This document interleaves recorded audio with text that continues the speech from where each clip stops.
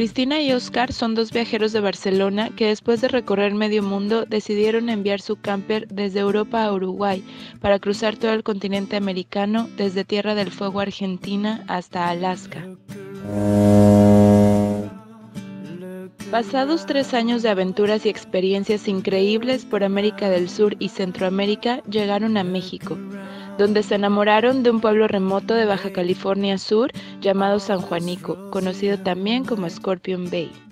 Su gente, sus costumbres, sus olas y su magia los enamoró de tal forma que decidieron cambiar sus planes para pasar parte de su vida aquí, su interés por el pueblo les llevó a conocer a Dana, quien regenta un negocio de renta y compra de terrenos.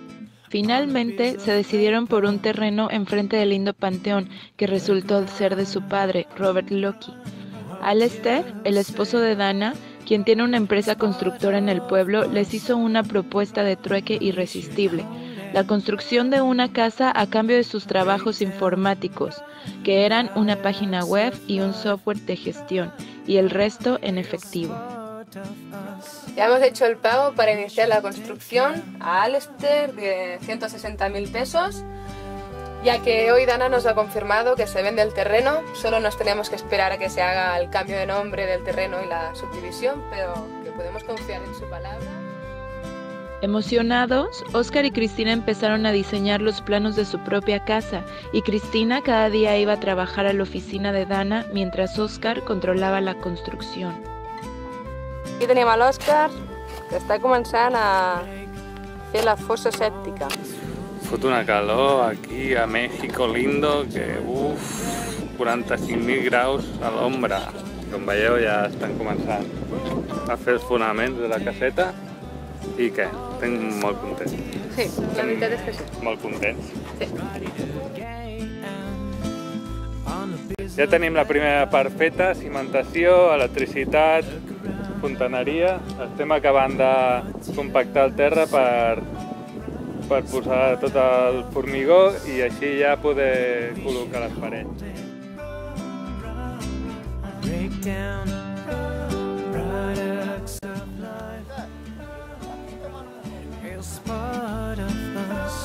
Pasados casi seis meses y viendo que la construcción llegaba a su fin, Cristina y Oscar decidieron hacer un corto viaje a California para renovar el visado mexicano y comprar los muebles para la casa siguiendo el consejo de Dana.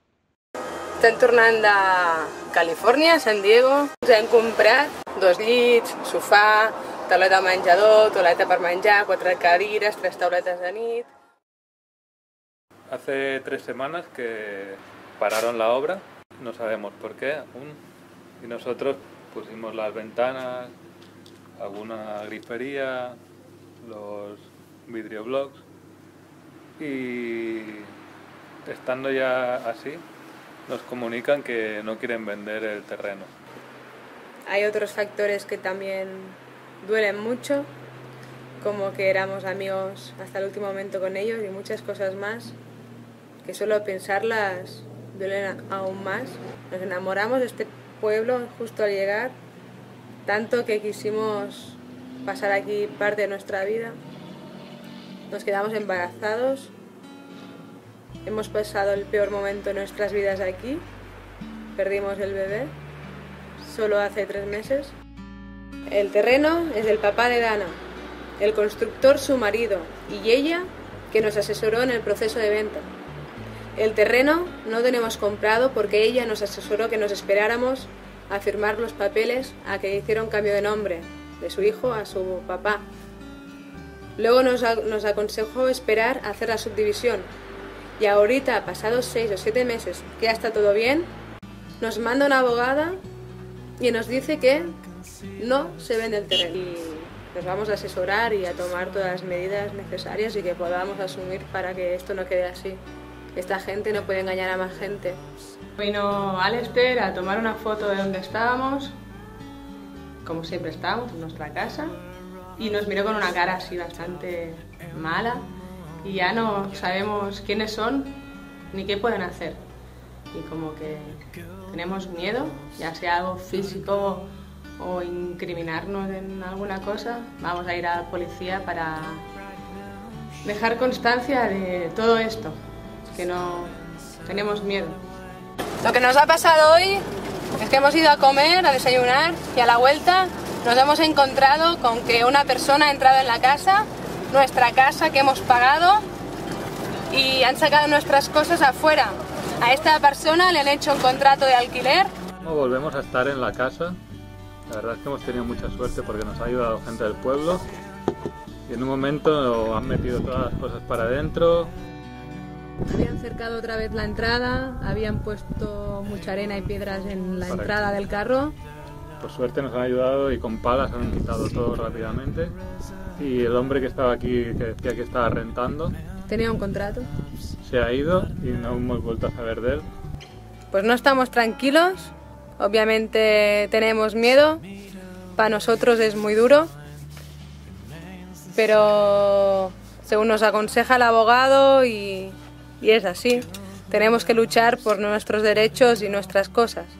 No podemos salir, tenemos que estar aquí porque a la que salgamos la pueden tomar otra vez quieren que estemos en un proceso judicial, pues ahí vamos.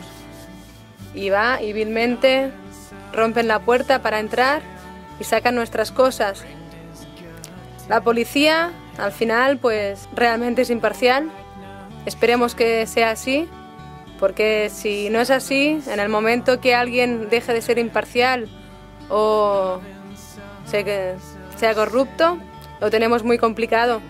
Porque aquí en el pueblo no hay cobertura de teléfono y el internet está muy complicado, es decir que estás incomunicado prácticamente. Encima de todo lo que hemos sufrido, del fraude que hemos sufrido, de las amenazas y el temor, ellos nos han denunciado a nosotros por ocupar la casa que hemos construido y hemos pagado. Nosotros nos enfrentamos de seis meses a dos años y medio de cárcel. Y a eso hemos venido aquí al Ministerio Público, que son como los juzgados, a declarar no hemos hecho ningún delito, que estamos legalmente en esa casa, la hemos construido nosotros y la hemos pagado.